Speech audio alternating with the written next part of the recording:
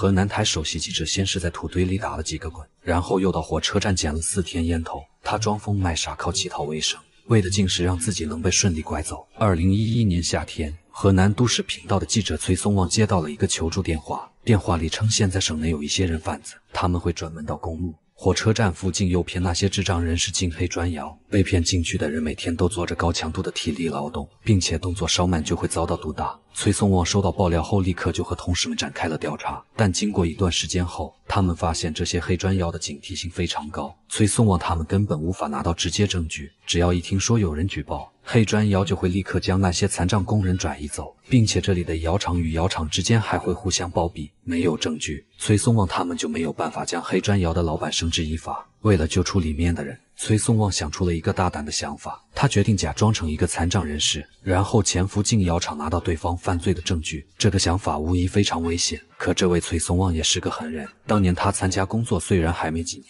可电视台里的任务他都会想尽办法完成，也参加过不少暗访任务，人送外号“暗访小王子”。说死了都要拍，形容的就是崔松旺。于是第二天，崔松旺就把自己打扮的邋里邋遢的，扮成了一个逃犯的样子去接近黑砖窑。到了门口以后，崔松旺声称自己已经很久没吃饭了，求看门的给他点吃的，还问厂里有没有活干。之后砖窑的人就拿出了一碗看起来放了很久的面条给他吃。崔松旺还没接过面条，就已经闻到了碗里的馊味。但为了让砖窑的人相信自己真的是个逃犯，他还是狼吞虎咽的吃下了那碗面。吃完面条。崔松旺觉得自己应该可以混进黑砖窑了，可没想到对方不仅不让进去，还直接把他给赶走了，并且还派人跟踪了好长时间，直到没有发现异常才离开。后来崔松旺和同事才大致摸清了这些人的拐骗思路，那些人经常拐骗的是一些无家可归、经常流浪在外的智障人士，所以这次崔松旺再次出发，而他的目标就是让自己在外人眼里看起来就是个智障。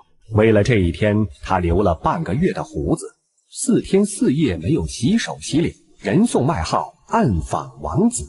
为了能成功混入黑砖窑，男人先去土堆里打了一个滚，然后就在火车站附近沉浸式体验起了流浪生活。男人名叫崔松旺，是河南都市频道的记者。而此时此刻，他的同事就隐藏在周边的角落里隐蔽拍摄。为了让别人相信自己是智障，崔松旺时不时会在地上打滚，捡别人抽过的烟屁股，还去垃圾桶里翻找食物。到了第三天，有人主动施舍给了他一个馒头，这说明崔松旺的演技已经合格。隔天，终于有一个回音男子上来搭话，而他就是专门给那些黑砖窑拐卖智障人士的人贩子。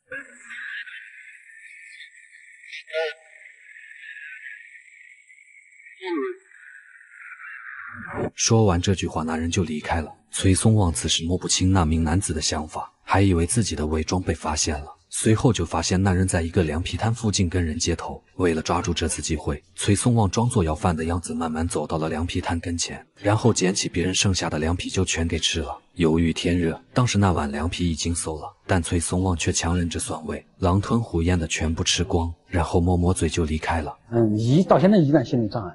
障碍太重了。如果我当时看到这个粮食是谁吃下的，我心里会更有障碍。正是因为这一幕，崔松旺终于在人贩子那里挂上了号。第二天，那人就匆匆把崔松旺拉上了一辆出租车，说是要给他找个活干。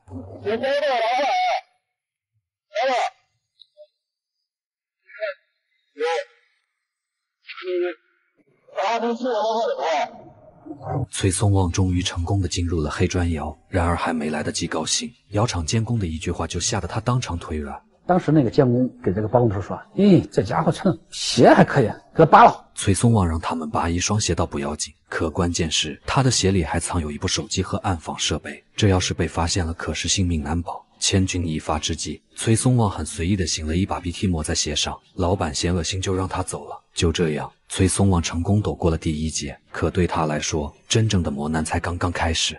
记者为了揭露黑砖窑的真相，连续四天在火车站假扮智障人士，在地上捡别人的烟屁股和凉皮吃，终于如愿被卖进了黑砖窑。厂里面干活的全是被非法拐卖来的智障木工，一群人挤在猪圈一般的小房间内，吃喝拉撒全在里面。屋子里散发着让人窒息的味道。这里没有工资，一日三餐也只有煮的半生不熟的疙瘩汤，混着发馊的粮食。匆匆一瞥后，崔松旺便被迫加入了这些人，开始了炼狱一般的生活。白天，崔松旺要和工人们一起劳作十几个小时，稍有懈怠就会被监工一顿毒打。而且最令崔松旺担心的是，监工还总往他们下半身招呼。崔松旺才干了一天就受不了了，他在拍下了大量证据后，就决定趁着夜色赶紧逃出去。然而逃跑却并不像他当初设想的那么简单。第一晚，崔松旺正在打磨捆着双脚的绳子，却被监工逮了个正着。虽然证据没被发现，却被狠狠打了一顿。第二天，正在干活的崔松旺因为动作慢了，被监工看到后不由分说的又挨了一巴掌。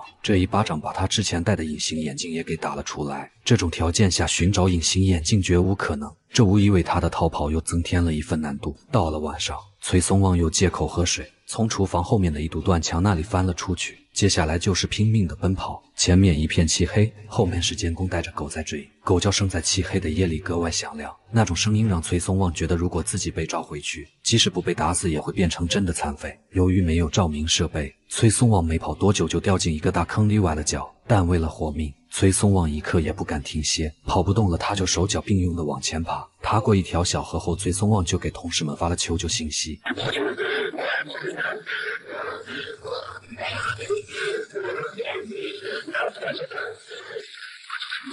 但当时的农村根本无法定位，同事们害怕打草惊蛇，也没有报警，而是一直守在约定地点等待接应。最后，当崔松旺终于与同事们见面时，他扑在同事的怀里大哭了起来。